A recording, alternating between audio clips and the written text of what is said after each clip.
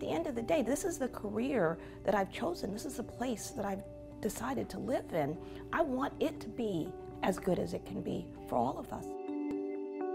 My default is always reasonableness. My default is always to find a solution that feels like a win-win. But if you don't want to do that with me, I will fight you to the ends of the earth. And that's because I have a real clear sense of a mission for my clients. For many people who always see me as reasonable and easy to deal with, it's always a little bit of a shock to them when they cross that point of, okay, so we're not going to get this done the easy way.